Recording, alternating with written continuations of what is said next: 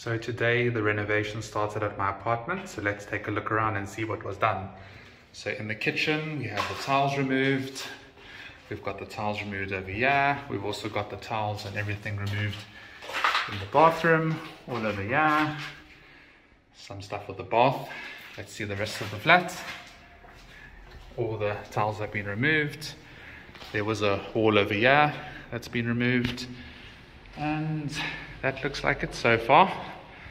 A lot of work for one day and can't wait to see where this goes.